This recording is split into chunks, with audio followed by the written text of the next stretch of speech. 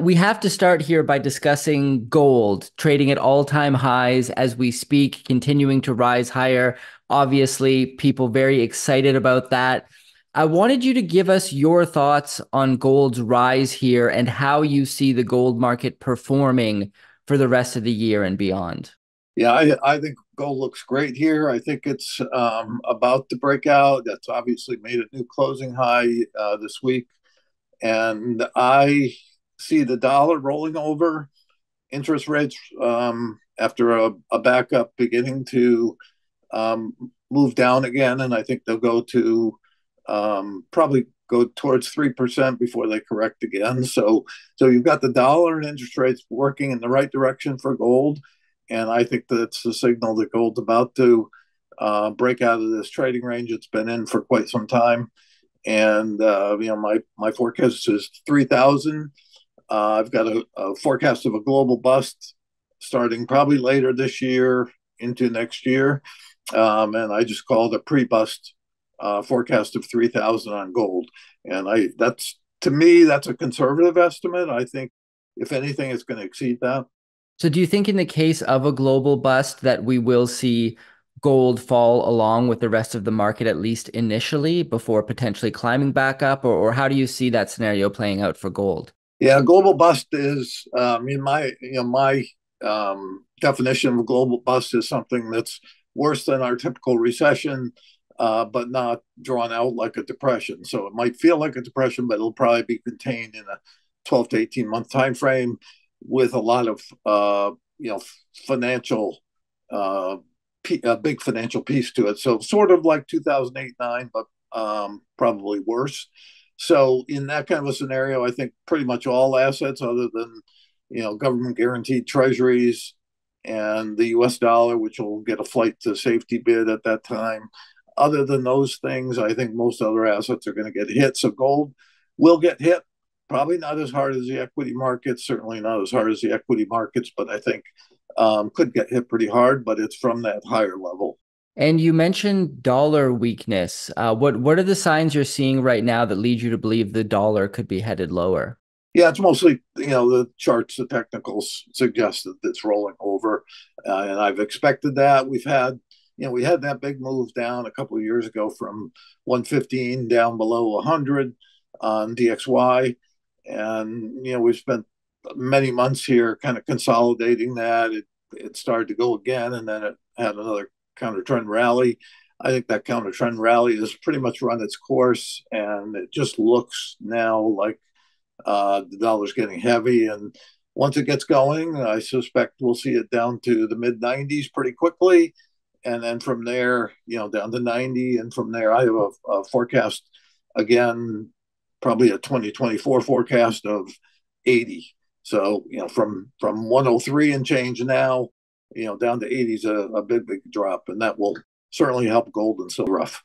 Well, I would like to get your long term forecast on this trend of de dollarization that seems to be occurring. Different people place different levels of emphasis on it. Some believe it's kind of not something that's even that important, and the US dollar is going to be around in a significant way for a long time to come. Um, I'm wondering what your thoughts are there with the BRICS nations, Saudi Arabia, as you mentioned, divesting themselves of the dollar when it comes to international trade. Is this a significant event in your view? Is this how long do you think it's going to take to play out before it, it has a major impact? And is this a, ultimately a tailwind for gold? Yeah, I, I certainly think the dollar will come under pressure in the second half of this decade. You get through this global bust and I think that will be the peak in the dollar, and it'll be all down from downhill from there. How fast is hard to know because you know this is going to be a global bust, and as we know, when when we catch cold, uh, you know the rest of the world catches pneumonia, and this is going to be us catching pneumonia, so the rest of the world's going to be in really rough shape. I just don't see where China, Russia, or anybody else is in a position to replace the dollar as a as a trade currency. So they can talk about it all they want and try to plot against the dollar all they want. I think it's going to be a long process. So certainly the next five years, the dollar is still going to be, you know, the king of the hill in terms of trading, in terms of trade. Um, you know, as we get to later in the decade, I'm forecasting a huge inflation cycle as a result of what um, what the Fed has to do, and all central banks, frankly, has have to do uh, during the bust to counter the bust and pull us out of it. It'll be a free falling financial system during the bust, and so they're going to be printing and printing and printing. Probably my my estimate is be something four or five times what we saw in 2020, 21. So, I mean, 20 trillion coming out of the Fed is my estimate. Uh, could be a little less or more. Um, but that kind of number is going to trigger, uh, and all central banks doing something similar proportionally, that's going to trigger a huge inflation cycle that will far surpass, I think, the early 80s and certainly what we've seen of late. Um, and so, as you get to the end of the decade, you could be looking at, you know, high double digit interest rates, high double digit inflation, um, and and a you know obviously a budget that can't be serviced, um, or you know we're going to really struggle. Um, again, it's a worldwide problem, but focused on the U.S., I think we're going to have a hard time making the case that the dollar is something sound and where people want to be. So um, you know, later in this decade, I think the dollar is going to be under a lot of pressure. You know, you could see it that you know DXY could be under 50 by the end of the decade, uh, and then you know keep going from there. So, so I I I understand the concerns about de-dollarization. I understand all that. I just think um, you know those that are in that camp and think it's something that's coming very quickly. I think it's quick in terms of history, yes, but quick not in the next year or two. Yeah, that's a that's an important distinction.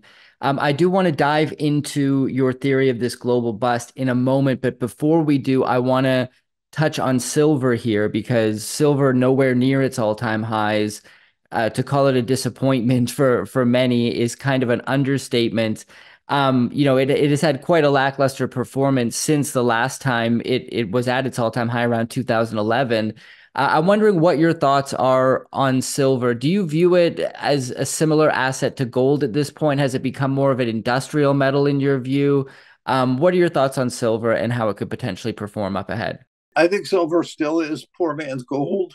Um, so it does have some of the characteristics of gold, but it also does have more of an industrial, um, you know, piece to it. So, yeah, it's been you know, I think it's an understatement to say it's been a disappointment. It's certainly been kind of the asset that has just not performed for a long time uh, and has disappointed lots of us, including me, over a long period of time.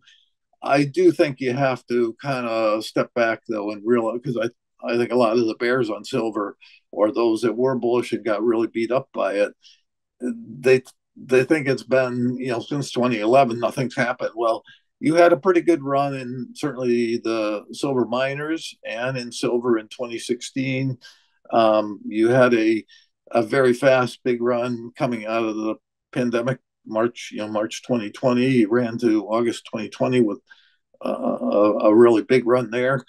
And then from there, it's been a really difficult slog. So it's been consolidating. A lot of the problem, I think, has been the dollar.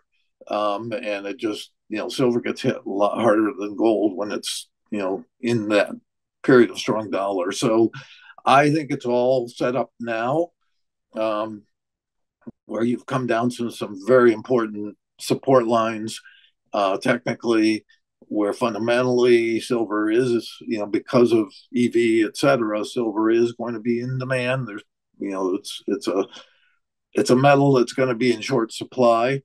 Um, and it does have the characteristics and when gold runs to 3000 it's going to get a bid so i have a pretty aggressive forecast pre-bust again uh, of um, $60 which may seem unbelievable given what we've dealt with this last decade but $60 between now and, and the bust um, and then um, you know and i've said if it breaks above 60 you could run to 75 very quickly so 60 is my target, but 75 wouldn't surprise me. Um, and then it will get hit harder than gold in the bust. So what that means, if if we, you know, you don't know whether we're going to 60 or 75 or 50 or whatever. If I'm right, it goes to 60 plus.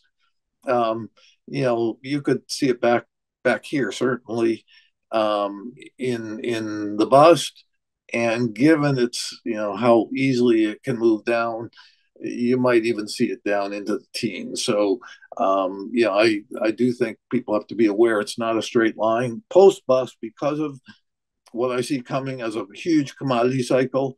Um, post bust, I think silver could get to five hundred dollars, gold could get to twenty thousand. Uh, but people just have to understand there's, you know, it's not a straight line. There's this bust in between. As I say, it's like standing on the south rim of the Grand Canyon and looking across to the north rim and thinking you can walk straight across. And obviously you can't. Uh, we're going to have that big canyon in between.